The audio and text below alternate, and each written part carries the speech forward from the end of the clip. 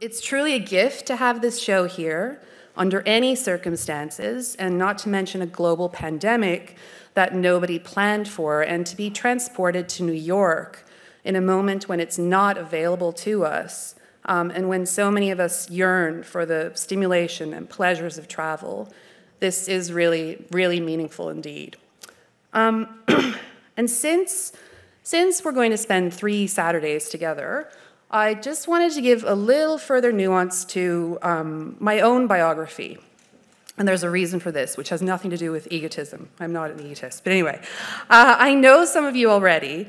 And for those of you who don't, I'm sure you can tell from my accent that I'm not local. I grew up in Canada, the daughter of Czech immigrants, and studied art history at Queen's University in Kingston, a city between Toronto and Montreal. I worked really hard for traveling scholarships that enabled my studies to include various locations abroad, such as Prague, Berlin, and Venice. And after a year of teaching at the University of Guelph, which is another city in Canada, uh, a job ad for a university called UQ caught my eye. Uh, in a place I have to admit I knew little about at the time, Brisbane. I had to look it up, actually. I didn't really uh, know much about um, cities apart from Sydney and Melbourne in Australia at that time. So, wanted Renaissance and Baroque specialist. Uh, I applied, landed the job, moved to Australia, and I've been at UQ ever since. And that was 12 years ago.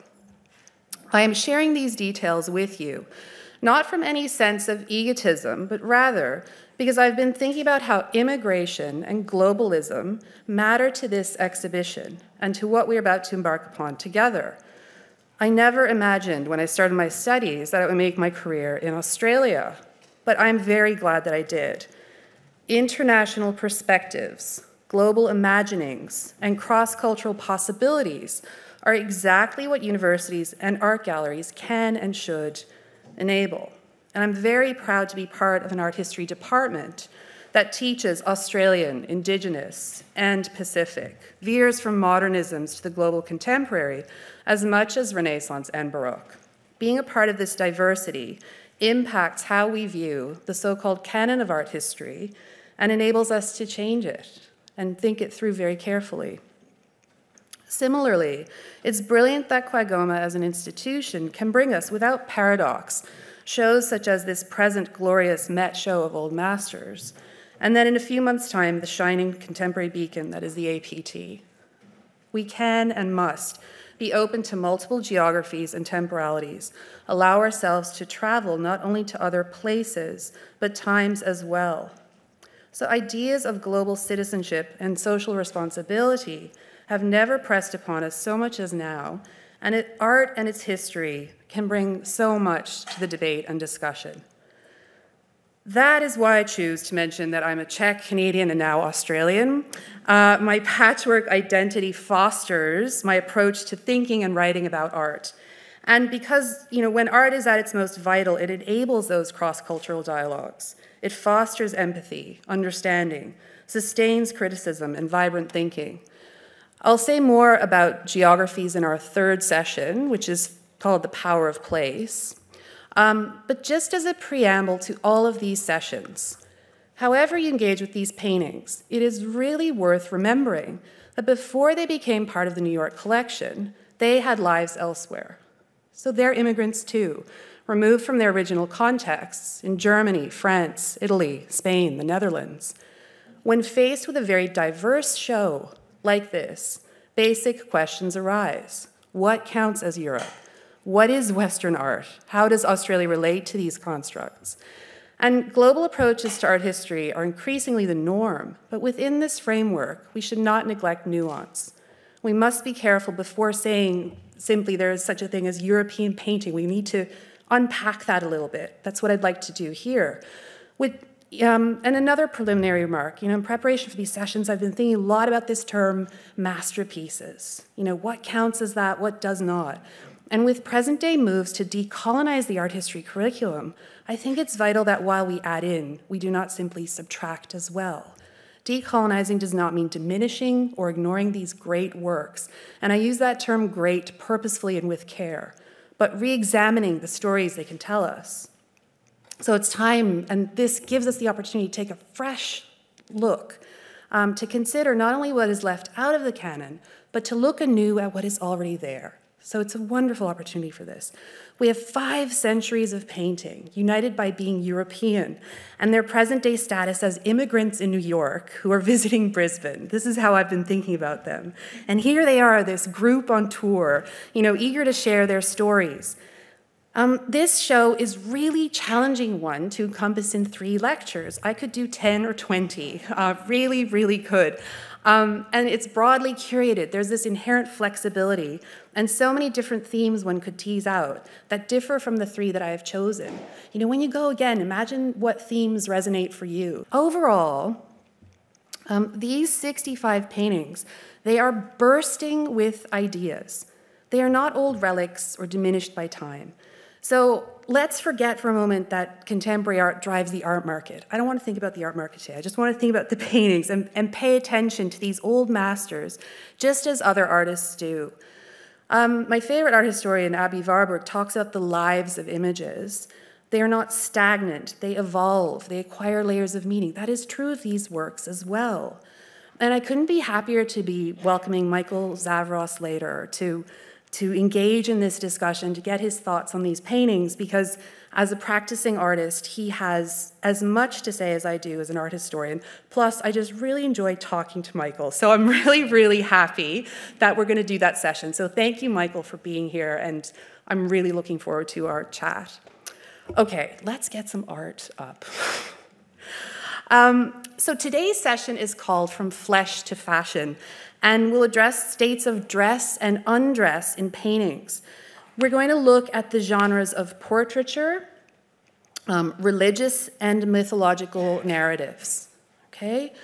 Um, and I, as I mentioned, I will focus especially on the first two sections of the exhibition, which have been named Devotion and Renaissance and Absolutism and Enlightenment. And these zones of the exhibition cover roughly the 15th to the 18th centuries. So please, you know, it's it's challenging to whip through four centuries, um, and that uh, you know, as an art historian, I'm constantly thinking, what am I leaving out here? But I will, you know, attempt a kind of in, involved in the session on flesh to fashion is also roughly a kind of chronological ordering here, um, for reasons that will become apparent. We could start by saying that human presence or you know, figurative painting is the overwhelming focus in these sections and in what I'm going to talk about today, obviously. We could start by observing that human presence peters off in the last section of the show when we reach an endpoint with Monet's water lilies. So if you've noticed that there are fewer humans around in the last section of the show, a veritable shift towards landscape and still life, that would be a very astute observation and indeed broadly reflective of the history of painting. For the earlier periods, it wouldn't really occur to an artist to paint a scene without human presence. Narrative was the driving force for art, the idea of telling human stories necessarily involving humans. And I will say more about this next week when we look at the lives of things, because in that session, we're going to pivot in a different way. We're going to think about how the, the things within the paintings are animating um, various aspects of stories, but also the focus on the things in and of themselves is an important story to tell about European painting in this period. Okay? So some of the paintings will come back again next week in a different way, with a different lens. So, why should we care about what these people are wearing? The question of what to wear or what not to wear is a terrific lens with which to consider our visitors. Artists made decisions about how to present individuals, religious saints, and mythological figures. They would draw upon past examples and traditions in line with those, and sometimes as a subversion of cultural norms. So sometimes when an artist decides to do something a little bit differently, we, we art historians sort of notice that and pick up on, oh, yeah, a deviation from um, tradition. And that's always exciting to um, observe. It may seem to occur at a snail pace in this period, but um, that's you know, where the interest um, really comes in. As I'll show today, clothing is never neutral in these paintings. Garments and draperies come loaded with associations. They give us clues about our subjects, about emotions. They carry emotions and narratives. Um, I, there's a terrific art historian who writes about drapery as agent of feeling. You know, the idea of cloth as carrier of emotion, that's something I want to explore with you today. Um, and also, clothing tells us a lot about shifts in iconography and social histories. But most importantly, well, maybe not most, I mean, it's all important, but the decision to show states of undress, right, or a figure fully nude, that carries enormous connotations as well that we need to think about today, okay? So it's all about people today. Who is our who? Sounds like a Dr. Seuss. who is our who? Um, and the reason I have that question here in my notes is because I also want to start start this. You know, um, another preamble here is thinking about who our artists are. Okay, and there has been some talk about this Met show as a very male-dominated one. Okay, and I want to address that a little bit. Yes, it is true there are only two women artists included: the extraordinary portraits by uh, Elizabeth Vigée Lebrun and Marie Denise Villers, which I think are rightfully two of sort of the, the shining lights in the show that a lot of people have been talking about. More on those to come. They, they kind of clue up the session today. But let's think about this, because in our focus today on the 15th to the 18th centuries, while it be true to say that there were fewer women artists, it would also be true to say that those that did gain access to training have been woefully understudied. This is a truth. This is a truth of my um, discipline in the area. Um, Giorgio Vasari, who I think many of you will have heard of, I'm seeing lots of nods and knowledgeable um, responses there. So, in his Lives of the Artists, which is basically this, um, for those of you who don't know, um, text in which the lives of the artists are treated with as much seriousness of purpose as politicians or religious figures. Artists are sort of on the scene as vibrant, extraordinary individuals who change and impact history, and they matter in that period. And Giorgio Vasari writes this Lives of the Artists. Biography becomes a lens through which we think about art history. Anyway, in that book, so there's about 200 artists, and four of them are women. So, right there, you see a kind of neglect happening because there were more practicing women artists than that. So it's a very vibrant, um, never let anyone tell you there's nothing to do. And I'm saying this partially to my students who are here, that there's nothing to do with early modern art anymore, that's all sort of finished. No, there is much that remains to be discerned around um, women artists in the period, and it's absolutely being redressed in current art histories and scholarship. So some named Sofonisba uh, Anguissola in, from Milan, Lavinia Fontana, Caterina van Hemessen. Those are some of the big name um, artists that you'll hear more of in the coming years, I'm sure, as they become a more central part of the canon of art history. And the Baroque period fares a bit better in this regard. We, there are a lot more named individual um, women artists in that period. So I'm thinking, and you've probably, many of you have heard of Artemisia Gentileschi, of course, who um, had her first uh, solo show at the National Gallery in London, where they purchased a new work, they acquired a new work by her. And so it's 2020, and it's the first time she's getting a solo show, and then COVID hit and no one got to go it was very frustrating because everyone was excited about this it was artemisia's moment to shine and then covid strikes and that show in the end not a lot of people got to go and see it I mention all that, you know, and, and just to say, you know, the National Gallery in London, I mean, 2% of their collection is by women artists. So if you, if you stop and think about that, it, it's, it's worrying. But anyway, so these these artists, you know, they made their careers in portraiture and created some of the most astonishing self portraits of the period. And like that's another lecture for another time, but I want to pause and give Vasari credit for his laudatory descriptions of the women he did include. So, take for example Sofonisba Anguissola. He says the portraits achieved by her hand are worthy to be praised by all. He also says women have achieved excellence in every art they have given care to. So, Anyway, there's more to be discerned around all of this. Coming back to our Met show, what I want to say about that is like the dearth of authorship by women should not detract from our interest in the early modern period or this show or be seen as some flaw. in art history, authorship is not the only thing that matters. Um, some important numbers here. So, in the Met Show, of the 65 works across five centuries, 37 of those feature or include women as subjects, playing integral roles in the composition, and 31 feature men as subjects in the same capacities. Now, we, in fact, have an excellent opportunity in the show to focus on the lives of women and to consider how they were featured, their lives, their customs, their dress, especially if we embrace this kind of social history of art lens that fashion allows us to do.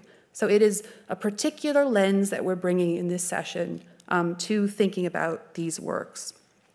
Okay, finally, you know, 15 minutes in, I'm going to start to talk about some paintings.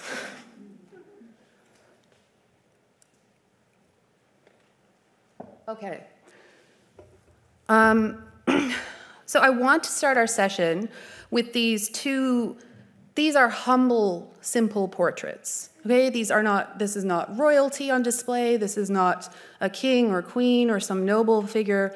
These are humble, simple portraits. I love them, okay? I think these are really terrific, smaller works in the show that are a little bit overlooked you know, when you've got a Caravaggio down the hall and a Rembrandt, etc. So part of my task today is to uh, share with you why I think these, these works are special and worth your time and a really close look again um, when, I, when you go back to um, the show.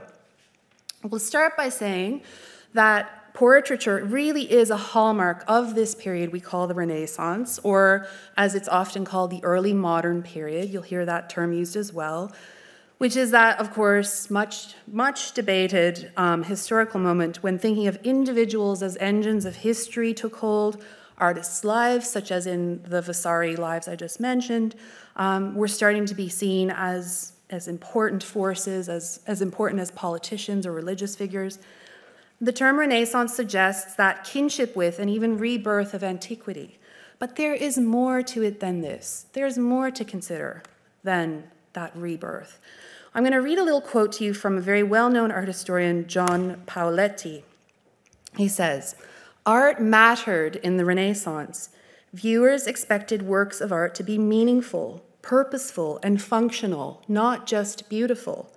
Visual imagery was so important, and the physical manufacture of works of art so complicated that artists rarely worked alone. They collaborated with one another and with a wide range of patrons, responding sensitively to the differing civic, social, political, and historical contexts in which they worked. Art mattered because it was the product of an entire society. It both forged and reflected societal values. I love this quote. I feel like it could be a guiding force for this show because it opens up to everything that we must think about, not just authorship, you know, or the rise of individual and famous artists, not just a move from the sacred to the secular. Patronage, collaboration, contracts, materials, methods, renovations, restorations, new genres emerging, philosophies, art as the lifeblood of society. And I, I believe that. I, I wouldn't be an art historian if I didn't. There's no money in my gig. So it's, it's like, you know, very much art as this lifeblood of society I believe that in, in what I study. I believe that in you know my engagement with um, contemporary artists. I, I my curating everything. So that's just something. Since we're going to meet for the next three Saturdays, that's something else you can know about me in this context. Um, so art in the period went. Uh, this is another comment to make. I know it seems like there's a lot of preambles, but that's just for this session. We, we are going to dig deep. Um, art in the period went far beyond paintings. Multimedia is not just the arena of the contemporary. Only a small percentage of visual culture from the period survives. Ephemeral things mattered. So, banners, parade materials, sculpture, and so on, jewelry, all of these items, that counted in that context as works of art that mattered um, to society and were vibrant expressions thereof we kind of have to wait until about the 19th century for the modernist emphasis on painting as a primary vehicle of artistic expression. So that's just something important for you to understand about this earlier context, okay?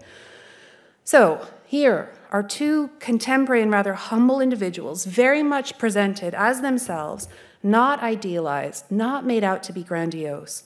Portraits played vital roles in 15th century Italy and the Netherlands, which are the two cultures we see represented here.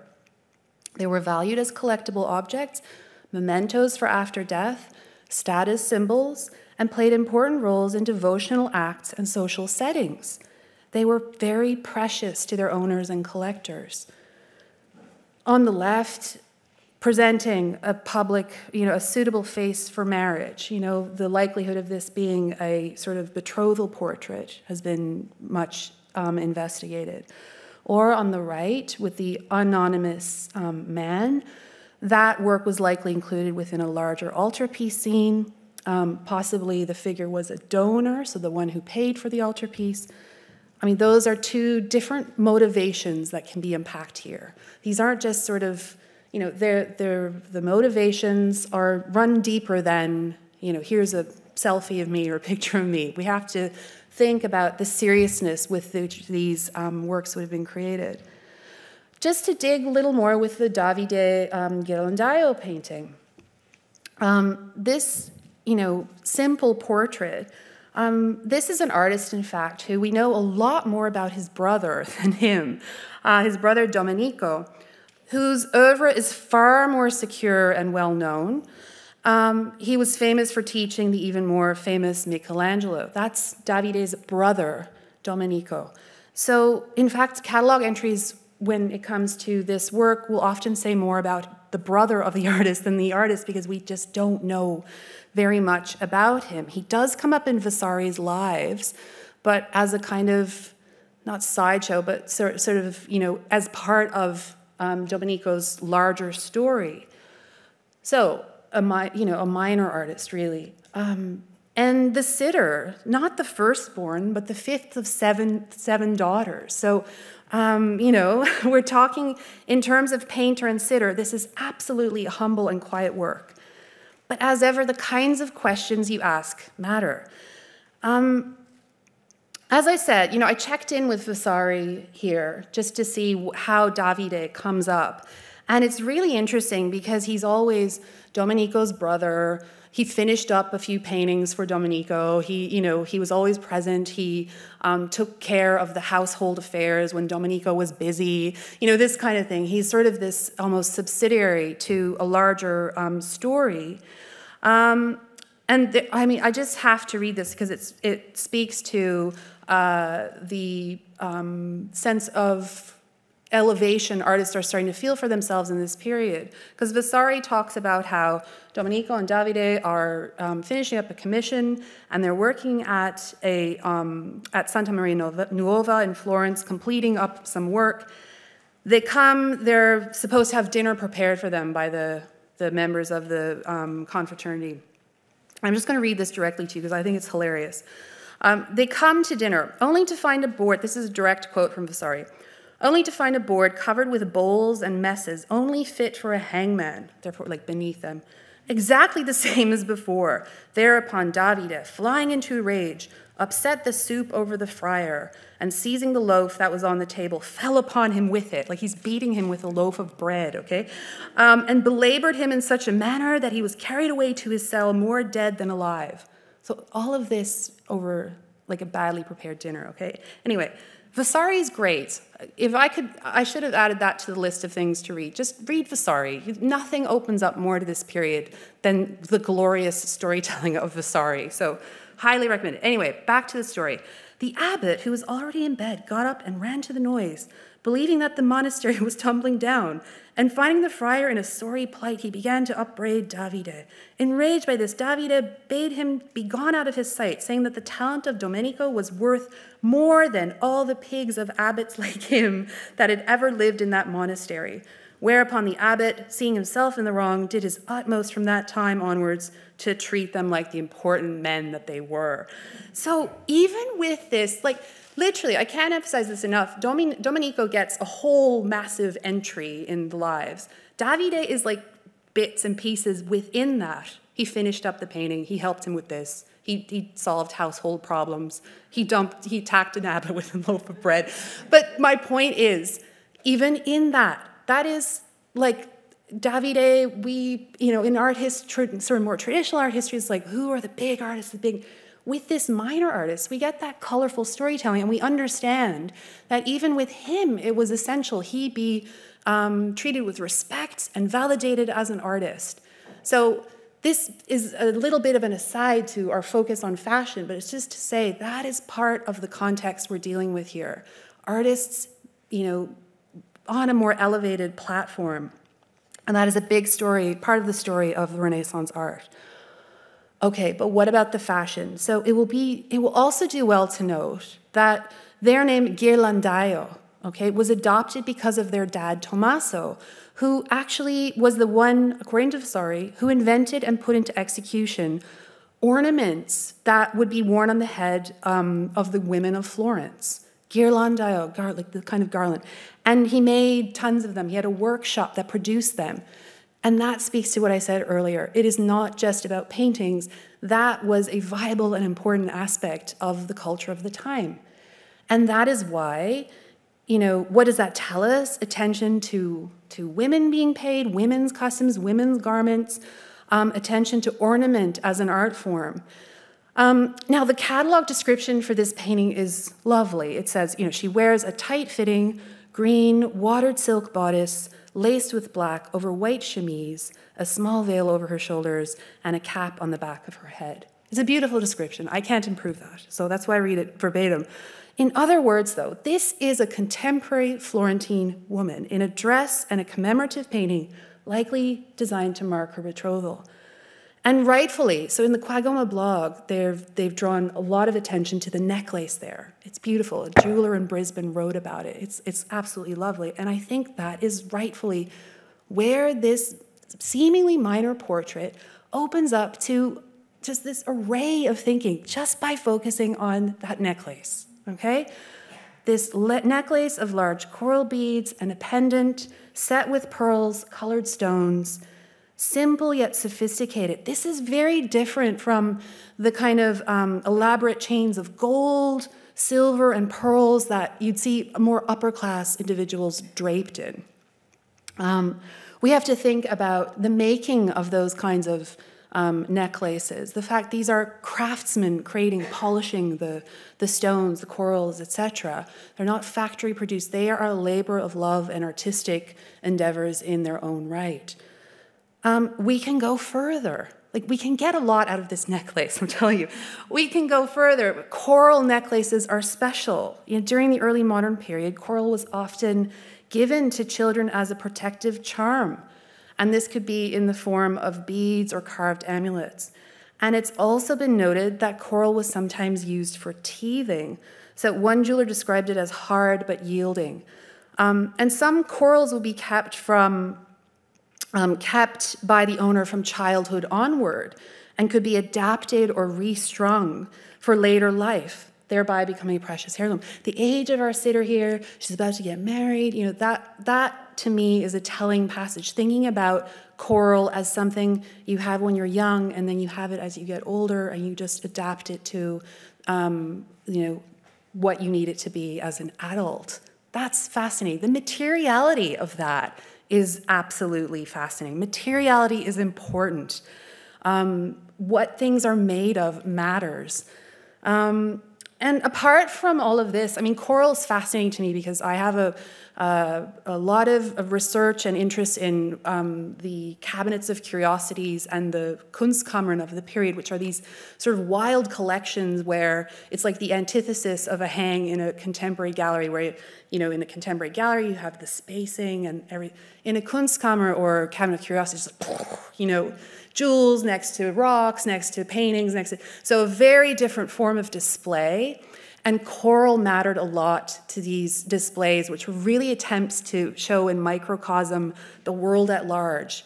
And coral, uh, you know, with its uh, possibilities, you know, it's something that, um, um, you know, it was considered a living organism, grows beneath the ocean, was seen as a preserver of life, a protector, a healer. It had connotations for the resurrection as well, with its blood red color, signifying um, the blood of Christ, all of these things.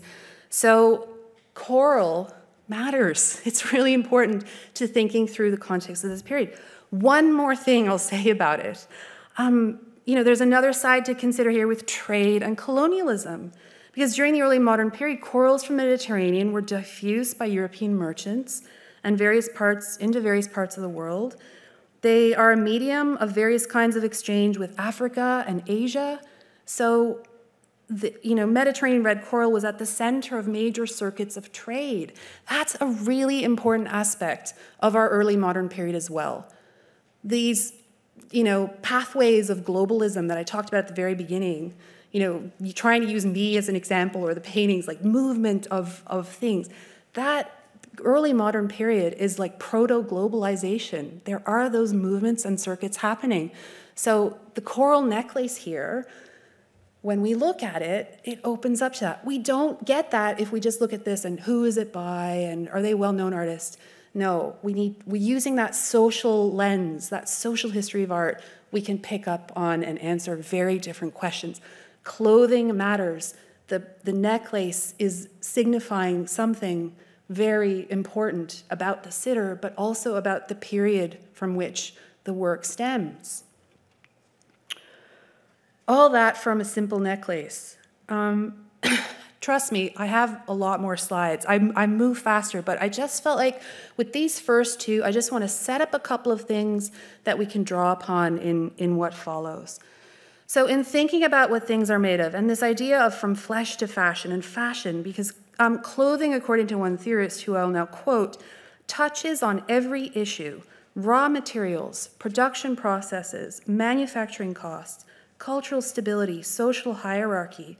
We can get a lot with this lens. Um, looking at the context here, we could further reflect upon the fact that you know the Italian city-states, such as you know most preeminently Florence, are this kind of a birthplace of a certain kind of fashion as much as um, you know, the flourishing of Renaissance art, and with the rise of cities, a middle class, a broader cultural renaissance, the demise of feudalism, um, the emergence of a new merchant class, international trade, all of those things are simmering here and could be impacted in the context of a portrait like this. Now, as for dressing this portrait, Ghirlandaio is working in that Italian context where He's working, and this is where I want to say labels are your friends. They aren't just there to for copyright purposes. They, they matter because they give us incredibly valuable information. This is tempera on wood, okay? This is before the adoption of oil as the medium of choice by painters, and that is a crucial component of the story of the history of, of European painting that I want to talk about a little bit more now because Ghirlandaio, working with tempera on wood, all of this before oil paint burst on the scene. For our next portrait by Hugo van der Goes, a different materiality is in play. Okay? That is oil on wood. There is a difference. If you go into the show and look again, you will see that difference. So let me say a little bit about um, our next artist, Hugo van der Goes, very briefly, just that he is very important and among the most significant Flemish painters of the fifth, late 15th century. Um, but again, works ascribed to him are very rare. And there are quite a few copies that do document his um, impact on Flemish art, ideas including like new color spectrums, um, the fostering of oils as a technique, and a highly individualistic um, manner of portraying figures and facial expressions. So we're talking about naturalism and oils, and this matters to our story. He was born in Ghent around 1440. And he was the deacon of a painters guild there several times. He had a lot of great patrons. We know quite a bit about Hugo van der Goes um, from the Dutch Vasari, Carl van Mander, so someone who analogously to Vasari decides to write a history of northern um, artists. And at the high point of his career, this is quite sad actually, Hugo van der Goes um, closed himself up, closed his studio, sank into a bit of a depression, and it's documented that he attempted to take his own life. Um, so we do have a significant amount of biographical detail there. What do we know about our sitter? Nothing, nothing, comparatively little. Um, indeed, nothing at all. But it doesn't matter. There's still things to unpack here. We know that this work has been cut down from a larger composition. It is not in its original form. It would have been part of a larger scene, like a diptych, uh, so two-part altarpiece. Um, and the man is likely a donor or someone who financed the work. With hands clasped in prayer, that's our biggest clue to this as a devotional image. Um, and the dress is very modest. But ask the right question and you can learn so much. Forget identity. This humble painting is telling us something incredibly important. Look at the hard modeling in the face. Look at the play of shadows, the chiaroscuro, so the contrast between light and dark, all playing out over these deep set eyes. The, the fingernails are a little bit dirty. Um, there's a five o'clock shadow. Is, is that an expression? you know, when you have that bit of scruff, right? You haven't shaved. We have that happening there. Um, nothing is idealized. This is a frank and honest portrait, and the details are astonishing. Why am I excited? It's executed in oil, and oil is enabling that. That sense of detail, the glazes, the sheen, the different kinds of um, possibilities there. And comparing tempera to oil, um, thinking about how artists dressed their paintings. Um, by that, I mean the very application of paint, so clothing the panel, so to speak and the emergence of oil painting as a technique and later canvas as a support is one of the most important things we can observe in this show. That is absolutely fabulous. Look at the Ghirlandaio. Just if you compare and contrast the two, art historians love compare and contrast. That you know, with the Ghirlandaio, you've got a bit more of a flatter application of paint, fewer tonal differences. There's less depth in the color. Contrast that with the Hugo van der Goes. And that is not to diminish this work, it's just to say that from a technical perspective, thinking about the, the paint, we do see nuances and differences, more so in person, which is why it's so great this show is here, because you know it's, it's one thing to say it about a slide, but another to see it for yourself. The Hugo van der Goes has that more nuanced approach to skin tones and shadows. It looks less like a cutout and more like a flesh and bones figure. The cheekbones, the Adam's apple, the pronounced and emphatic. The, you know, the painter is articulating bone structure and what lies beneath as much as anything. So this dialogue says is an important aspect of how ideas circulated, how and putting these particular works into dialogue makes sense because when paintings by Hugo van der Goes arrived in Florence, so trade is happening, there's different patrons, donors, pictures are on the move. When those early Flemish paintings arrived in Florence, the Florentine painters like, whoa, they're blown away because they're seeing the possibilities and capabilities of a paint other than what they've been used to using since the 14th, 13th century. And different, very different from fresco as well. So, what oil paint allows and enables, that is a kind of cross cultural, exciting dialogue happening that we can imagine with just putting these two humble pictures together. Okay, look, I'm going to put some new art up. I promise next time to go a little faster because I'm looking at my clock and I'm getting a bit horrified. Um, look at this sequence. Okay, so this is this. You know, my art history students who have done my Renaissance course, they'll they'll know I love doing a sequence like this. You know, I I once had a prof who was like, "Why study Renaissance art? One Madonna, two Madonna, another Madonna. It's just over and over again, Madonna, Madonna." Now, you look at this and you can learn so, so very much from a sequence, a simple sequence like this. Once you have that difference in mind and are thinking about oils and tempera and the differences and different support, etc., you, it opens up a kind of whole new perspective on things.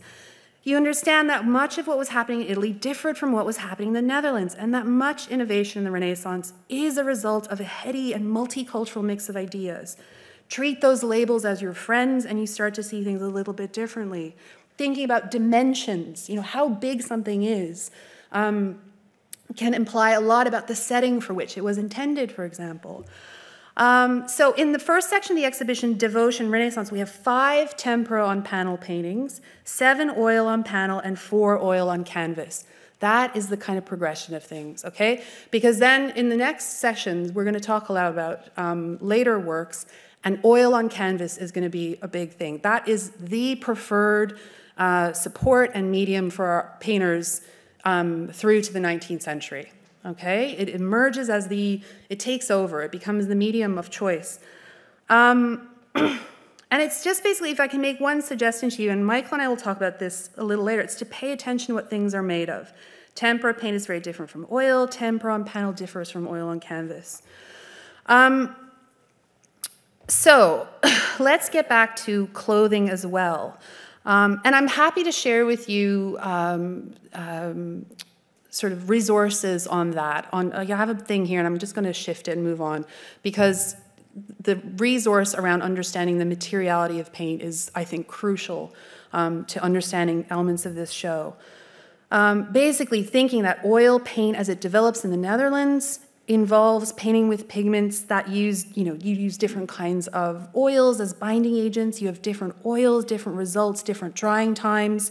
You can do glazes, have sheens, um, make adjustments as you go along. Tempera, harder to fix, harder to change, harder to make adjustments, harder to have those nuances and different senses of layering. Okay.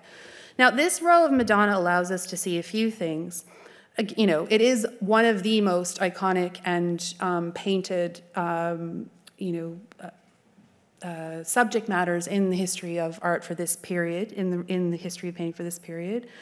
But again, it allows us to think about this contrast between Italian and Netherlandish approaches, differences between tempera and oil, a rise in a kind of naturalism that the North also embraces, the burgeoning interest in nature. You know, I think you can see, see all this for yourselves. Shifting ideas about how to present one of the most sacred figures and iconographies of the Catholic Church, the Madonna and Child. We can also chart a difference here between works intended for more public versus private consumption in accordance with how these Madonnas are dressed and presented. So, fairly quickly, just moving from left to right, I mean, with the Fra Filippo Lippi, this is a majestic presentation. It's the, the type we call the Maestà. The Virgin is enthroned with the Christ child. It's got a seriousness of purpose with that sort of Old Testament scroll coming from the back, from the angel's hand in the back. This is a ponderous, serious image, otherworldly, you know, devotion, you know, etc. Moving to Carlo Crivelli, and this is a work we're definitely talking about next week because we need to talk about the cucumber and the fly and all this, the things, okay? That's absolutely, I think I'm going to put that in my top three in the show because it is a fabulous work. Um, but thinking about it in this sequence here, we see a very Venetian work. The Venetians loved color and um, vibrant patterns from elsewhere. We see that in the Madonna's cloak. Um, we see an emergence of a kind of naturalistic background there, and that's Venice's place in the north. There's a lot of um, Flemish works coming directly to there, even before they get to Florence. Um, and then, you know, the um, what else could we say here? We still have that sense of being enthroned, but with a difference, right? There's a nuance between that and the more traditional approach of Fra Filippo Lippi, which involves this architectural construct. Here in the Crivelli, the Virgin is neither inside nor outside. It's this kind of liminal, ambiguous, strange space, which is absolutely fascinating. So, more on that one next week. But then over to our Netherlandish works on the far right. Absolutely, that placement of the Virgin there completely in nature. That, that is the kind of Flemish propensity, the interest in um, uh, nature as a setting the, the plants can all be differentiated. They're looking, they're examining, they're thinking about what's around them. Um, and the oil on wood, you know, if you look at that work in the show, you see that. And then finally on the far right, the Dirk Bouts, I mean, in a, a, session on From Flesh to Fashion, you could not have a more modestly dressed virgin than that one there. And you know, comparing that back to the first two. And that's one of the works Michael and I looked at last week, thinking about the glazes and thinking about the approach to paint and how luminous and shiny it is, which looks different from how it's a bit washed up on this slide, but so definitely worth your time. But overwhelmingly for me, that work is about this bond between mother and child that is so realistic, so um, you know, sensually depicted and very different from our it's not to say one is better than the other. That's not what i'm saying. It's not a value judgment. It's more about the intentions the the desires the artistic decisions are different. This serves a different purpose from the one on the far right which is tiny very small work for private devotion and very much about saying the virgin and child are like you and i. There's no big halo there. There's no you know sense of the divine as you have with the crivelli or the lippi and you, you kind of see that in that shift over there. It's just literally just a kind of devotional image, simple, the bond, right? Okay. And there's a great, I think QAGOMA blog just did a piece on the ultramarine and the Virgin's cloak, which is really well done. So have a listen to that as well um, for the Gerard David. Okay. Look, I'm going to put up another image. I'm going to move a bit more quickly. Um, wow. Okay. So, I mean, like I said, could do 20 lectures, but let's consider another iconic moment in the Christian faith, so the lamentation. So this moment when, you know, Christ is taken down from the cross, he's surrounded by um, mourners. Um, this opens up, this painting opens us up now to states of dress and undress in paintings. When do we see nudes? when are the nudes coming, Andrea?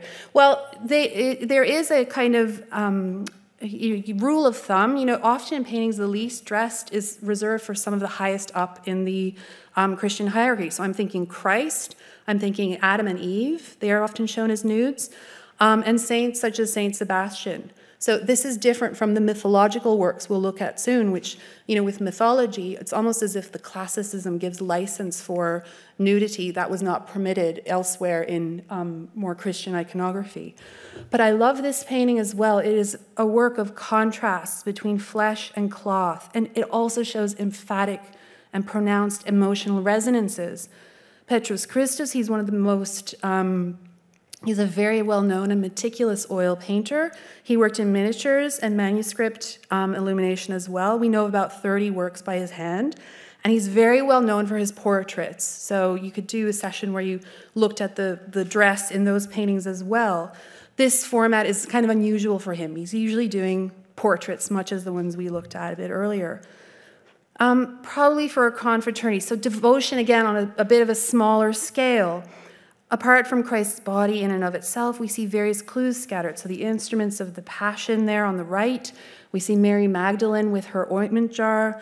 Um, St. John is supporting Christ's mother Mary as she swoons into a faint. Now, thinking about fashion, dress, costume, ordinary people are part of this Netherlandish realism and naturalism. All are in contemporary dress. The clothes enabled contemporary viewers to be part of a scene and the compassion evoked and echoed. I mean, look at the attention to detail as well here. The blood running down Christ's leg, his anatomy is pronounced. The curves and swoops of the drapery. So the curve of Christ is echoed by the curve of his mother who's mourning his death. Um, you know, all of this is made possible. This kind of what I said earlier drapery is agents of feeling, the activation of the cloth there. Um, you know, the, that swooping white cloth, which our eye just you know, launches onto painters making decisions about how to draw our eye and attention to particular zones of a work of art. And that happens not only with things like perspective, which is a very developed um, practice in, in Italy in particular, but it also happens with color and the, the way that um, zones, as I said, zones of interest get created. And here it's very much that um, Christ and the drapery in the foreground okay, now something different. So moving on to states of undress, you know, I've just given you this rule of thumb around, you know, when you see nudity in um, religious scenes, it's often Christ, Eve, uh, Saint Sebastian. Well, with mythology, it's a whole other ballgame. And artists can really revel in their explorations of flesh and thinking about anatomy and exploring how to show, the, and as you all know, um, the nude carries through as a point of interest for artists well into the 19th century um, and you know features prominently at the end of our Met show um, with works by Courbet, for example, and um, uh, there's one other. Anyway, I'll get to it later. But the point being, it, it eventually is going to become part of an act, artist's training to be able to show a nude convincingly. Now, in a way, it's you know, again, I have my point of contrast around my different cultures that are mixing and interacting and happening in this period. Um, you know, again, what we have to do here is think about um, uh, the classical and antique, source, uh, antique sources available to our artists in this period. We have that cultural contrast. We have the German artist Lucas Cranach the Elder on the left and the Venetian artist Titian on the right. Now, it's not a great comparison if you look at our news. uh, you know, I'm faulting myself, but it's, it's a little bit unfair. Um, Cranachs are very abstracted. I'm sure you can all see that. um, while Titian's are full and rounded and more real.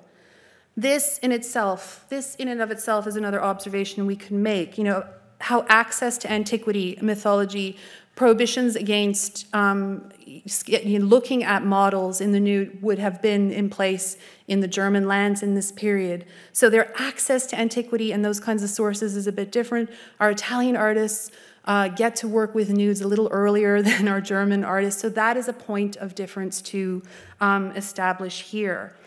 Another simple rule of thumb, like nine times out of 10, when you have a nude female, it's going to be a mythological work, okay? Eve is that kind of exception to that rule.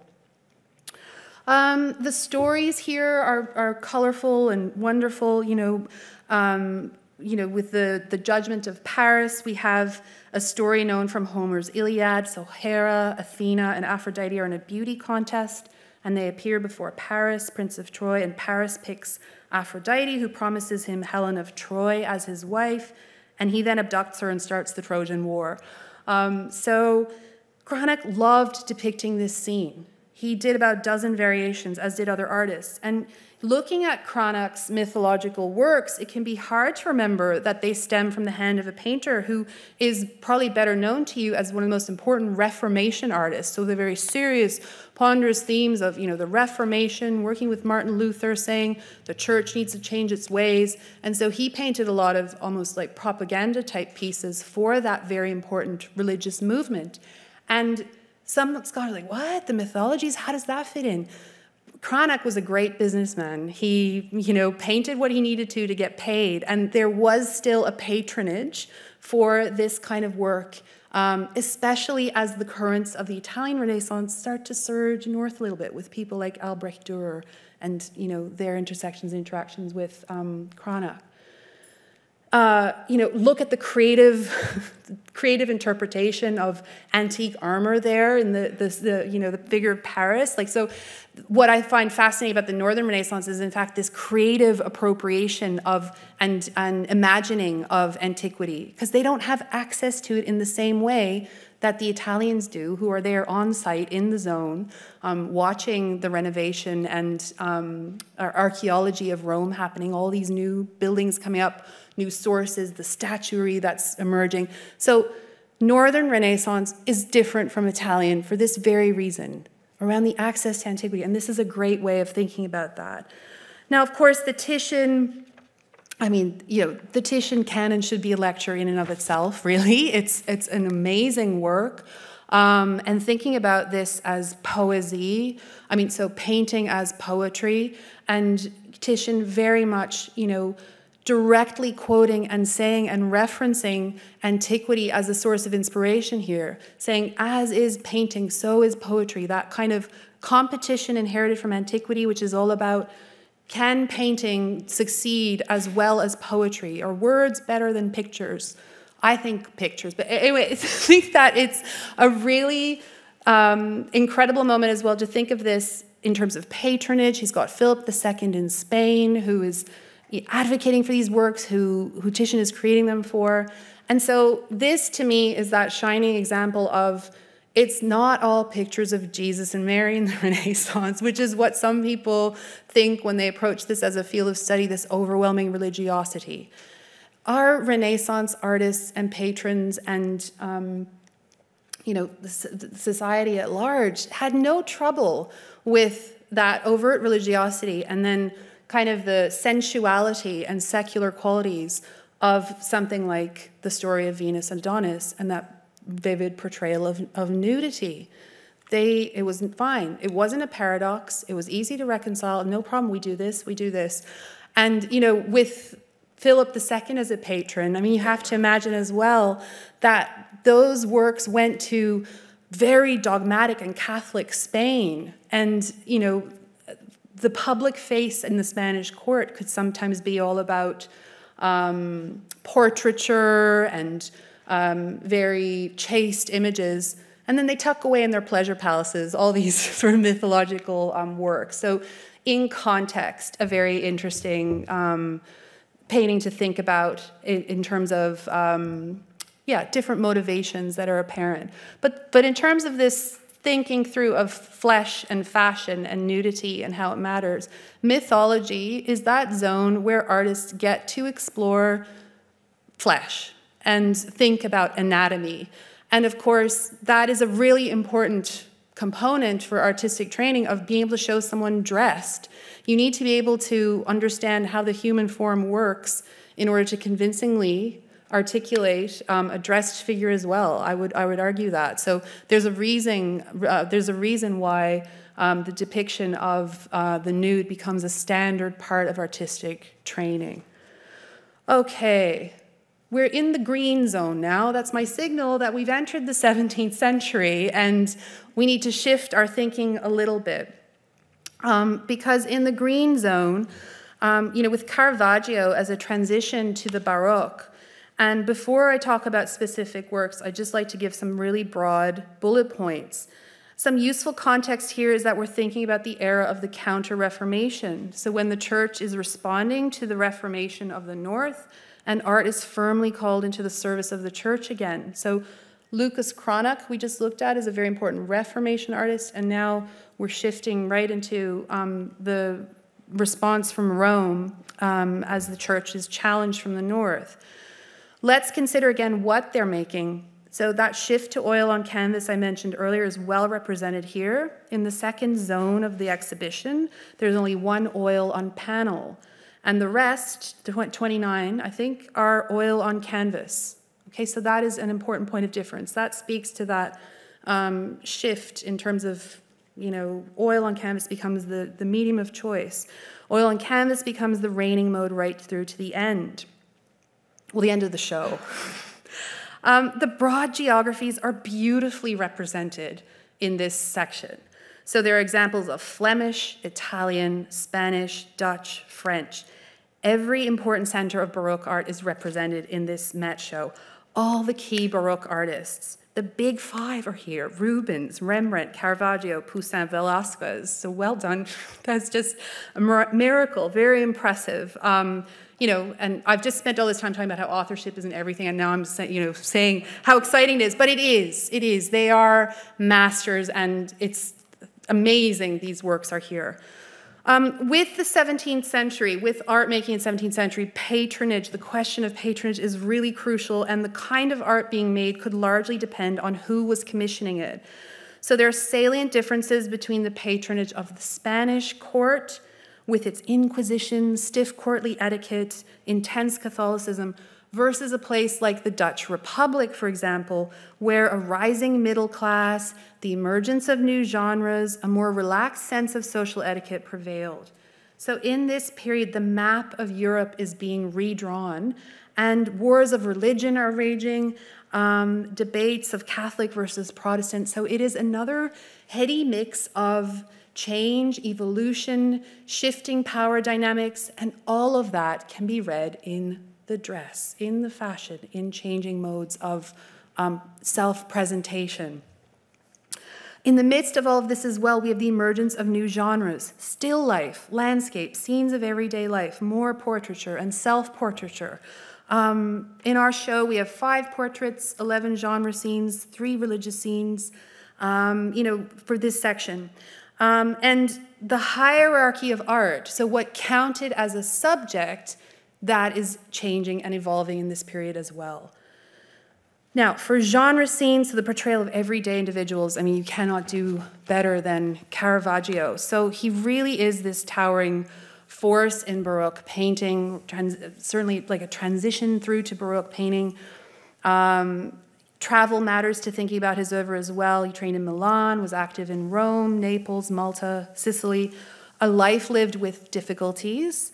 Um, he died at 38 after a short career of only 15 years. If your way into art is through biography, he's a great choice because he has a very colorful, complex, police record driven biography where it's you know i always say to my students i'm like we know a lot about caravaggio because there's a lot of police records that we can link up to him you know for various um, crimes that he was you know punished for he, he has to leave rome because he's um, uh, you know, he's he murdered, in fact, murders someone. Um, there's a famous instance where he's, he gets a jail sentence because he throws an artichoke at a waiter. Just very strange things. His biography is very colorful and unique. And I, when I say that authorship isn't all that matters, of course, I'm not saying the biographies aren't. This is a fabulous and very interesting um, biography. We know of about 50 works by his hand, no sketches at all. And the remarkable thing about Caravaggio is just this propensity to work straight onto the canvas. So in the Renaissance, there was a big, you know, emphasis on disegno, or on the preparatory drawings you would do to create a work. Caravaggio's, nah, just not into that. He wants to work directly on the canvas. He wants to paint what he sees around him, the life he sees around him. Instead of doing a proper allegory of music, which would involve a female figure holding a guitar, he decides to take four individuals he knows and plop them in there, and he indicates it's an allegory by the antique dress in there. So again, the costume matters. It's it's its indication here that this is has an antique connotation. Um, so you know that is sort of the, the flesh in Caravaggio, I mean, you could, again, that could be an entire topic in and of itself. But he's very important for the show, also in terms of what he points the way towards. Caravaggio's works always involve this kind of pressing forward of like three quarter length um, individuals. No, like he couldn't give a hoot about background or perspective or landscape. This is all about people and what they're wearing, um, pressed forward with these kind of spotlight effects. We, you know, radical approach to chiaroscuro, and that gets picked up less in um, uh, Italy immediately, and rather more so in places like France. There's a real interest in Caravaggio's work. In um, the, there's a whole group called the Utrecht Caravaggisti, for example, who pick up on components of his style in the north. Um, Simon Vouet, uh, Georges de la Tour are brilliant examples of artists in France who are completely inspired by what Caravaggio has done. And um, fashion plays really crucial roles here. As I said, you know, with the Caravaggio work, you know, an indication of giving him permission in a way to engage in the sensualities of flesh there because yeah this is an allegory actually. This is you know it has that that connotation. Therefore i get to to go there. Um, similarly, with women playing guitar, which could very well be an allegory for um, music as well, this voluptuous, you know, fully rounded, um, you know, vibrant woman, uh, you know, the same dramatic lighting and naturalism that we saw in the Caravaggio work really um, coming through there. So Caravaggio is an inspired, an inspiring example for that fo human focus really. As I said, I can't overemphasize, overemphasize enough how little background matters to Caravaggio. There, there's nothing, you know, if you want to talk about single point perspective, this is not your man, or these are not your, your artists, because it's not about that at all.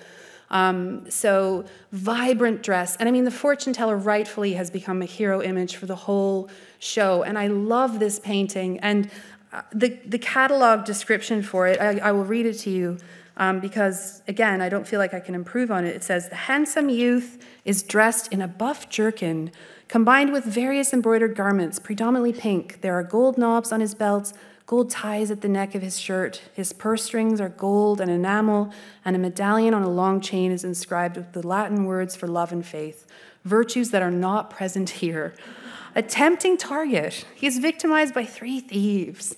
I love that the thieves are women. Again, like this is this is just a terrific work. An elderly crone who takes his coin to tell his fortune, a young woman with pale skin and a sideways chain who cuts the chain of his medallion, and another who removes an object or two from his pocket. So the poor lad, you know, from all angles, there's there's thievery happening, and again, you know, those the darting eyes, which um, you know, but then in a session on flesh to fashion, I mean, the vibrancy of the costume there and, um, you know, the indication of um, multiculturalism at play in there is, is really um, beautiful. The patterning, I mean, um, there are I have colleagues in art history who focus on cloth as you know and as a epitomizing cultural trade and the movement of things is linked with the movement of ideas. So that's, that's what makes these works especially exciting. I have seven minutes. Okay. Um, very quickly, how will I wrap this up? I will. Um, what I'd like to quickly add in here. So, this is very different from what we just looked at. That focus on contemporary life and, and street life and um, you know uh, thievery of you know happening in the um, Georges de la Tour. Here, I just want to point out quickly, and this will help us for the weeks to come. You know, again, context matters. These Spanish works and the motivation of portraiture at the Spanish court is very, very radically different from what Caravaggio and his followers are engaged with.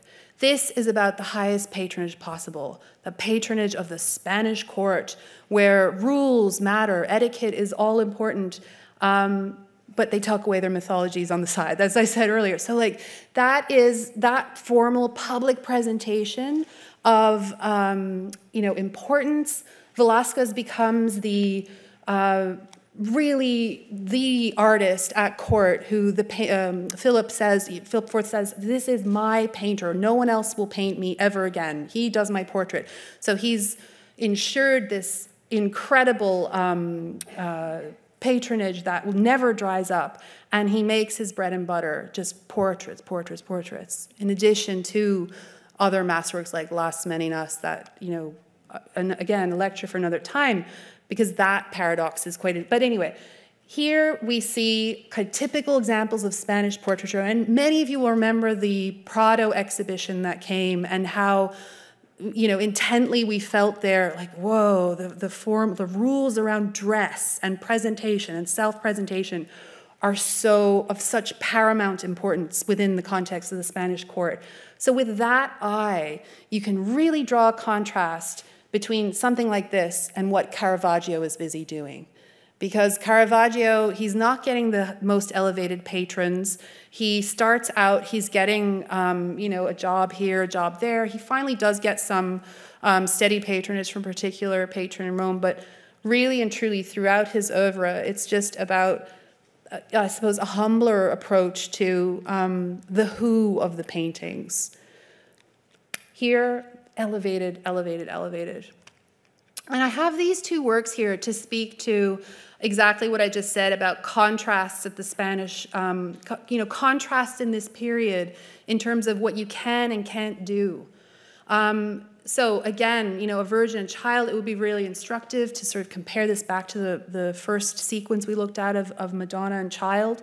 Um, and, you know, here the, the bond with mother and child very vibrantly um, depicted. I actually had a student who wrote a whole, a very fascinating paper upon, on um, the virgin's breast and how that, the kind of emergence of the virgins, there are paintings where you see uh, partial breasts, sometimes where you see a fuller one, and that as part of a kind of rise in thinking through um, in terms of a naturalism. And here, the idea is the child has paused, you know, post um, having a feed. How different is that from the uh, portrayal of um, Cleopatra by our very fascinating painter Cagnacci, who um, led a very uh, strange life. His works seem strikingly modern when you look at them now. He's a very unusual Baroque painter, and sensuality and um, eroticism are a huge part of, of his oeuvre. So, this contrast, just saying sacred and secular, they can reconcile it. It's working. And the state of dress or undress in a painting is a huge indicator of that type of that painterly motivation of what's going on. So good keys for you to when you look at any kind of collection of old masters um, and great ways to help you identify who who a particular subject is. I really mean it. I mean um, the snake you know it's um, cleopatra you know it's the story from petrarch you know those are become indicators of who we are looking at. Um, oh three minutes. Um, sorry. I might carry a couple of my last slides over to next week and just and then anyway, we'll see. But I have this work from our collection here for a very important reason because I mean this this under studied, and uh, this work deserves more attention and is worth, and it fits beautifully in our session because the idea of, of flesh and fashion, I mean, here, you know, young women, I always think of the Velvet Underground song Venus in Furs when I look at this, actually, if you know that song. Um, but this, absolutely, here we have Rubens um, copying a work by Titian. Now, don't let that word copy throw you off or go, oh, it's, it's not important. It is a really crucial um, point for understanding uh, a later work by Rubens where he depicts his own wife with a fur and in a similar state of undress. And uh, it speaks to, again, what clothing can tell us about where these works were intended for. The work by Titian that Rubens has copied here um, is was a, a, particular courtesan who Titian knew. He depicted her three or four times, included her in various portraits, but there's no doubt that the portrait itself was a private one. And similarly here, um, Rubens has copied Titian, and then he later emulates and appropriates aspects of this work for um, his own study of his wife. But again, from flesh to fashion, degrees and states of undress. Um, we, we can say a lot about um, what these works were intended for, their intended audiences. And nine times, if it's not a Venus or um, a, an Eve, it's usually for private um, consumption. Not everything these artists made were intended for the public. And then whipping through Rembrandt in one minute um, is just to say he too was engaged with Titian as Rubens was. And in fact, I mean, it's really interesting to think of these artists, how they copied other artists, how they, they were alive to the past, to the history of art, and that's how they learned and studied and trained. And that pedagogy I find absolutely fascinating. So, in the catalog for the show, you can read about how Rembrandt was um, likely inspired by a painting by Titian called Flora in order to deliver this um, beautiful uh, vision of the goddess as well. And again, states of dress and undress. Here we have a very relaxed, casual chemise. Um, and of course, just to flick ahead, this was going to be my last thing for the show. Um, you know, states of fashion, and here we have our, our women depicting women and thinking about the vibrancy of contemporary dress and the now. And so we've talked a lot in this, or I've talked a lot in this session about uses of the antique and an indicator of that kind of level of appropriation. There's my timer. Um, uh, but something else really crucial is the painting of the now. And the further you go along in the exhibition, the more that becomes apparent. So even with our Rococo works, I mean, the, the present and contemporary fashion um, is fully on display, and aspects of dress up that I wanted to talk about because dress up and playing um, those kinds of games are not just for children, and they're, they're apparent in a number of the works in the show. Um, and you know, with 17th century Dutch art, for example, and that shift into a very secular kind of zone, you see all kinds of fashion on display, and art historians have a great time picking out which of the costumes are um, anachronisms and which are present day. And usually it's this colorful and creative amalgamation of both. So, to clue up, I mean, I didn't even talk, get to the 19th century, but I will next week because when we talk about things, that's going to be a really important um, aspect of what we do. Um, but just to say, I hope you've seen today that fashion and costume is a really important lens with which to look at these works, and it opens up questions that we don't get to address if all we're thinking about is who painted something.